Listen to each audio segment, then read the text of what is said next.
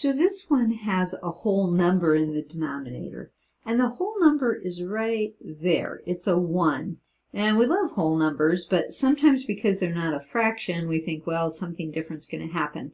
Um, so, so we have to keep that in mind. All right, so looking at the denominators, we have an x plus 3 here, and an x plus 3 here. But on the 1, it's really just over 1 if you want to, if you want to make it a 1. If you want it to be a fraction, you can always make a whole number a fraction by putting it over 1. So the LCD is going to be x plus 3. That's the LCD. So I'm going to recopy the problem. x over x plus 3 over 1 plus 1 over x plus 3. And then everybody gets multiplied by the LCD, which is x plus 3.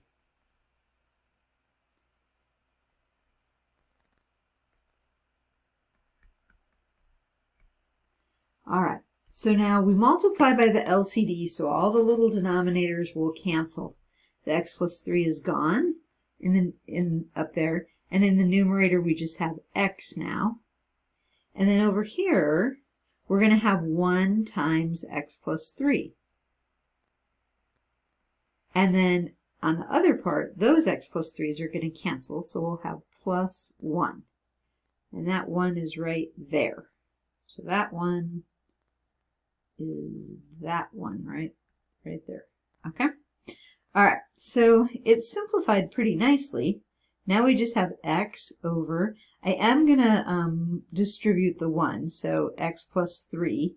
You could have just written x plus 3 to begin with, because 1 times x plus 3 is going to be x plus 3. But we have to know that so that we can simplify the denominator. x over x plus 4. Now, very good. Um, I'll ask a trick question. Can I cancel the two x's?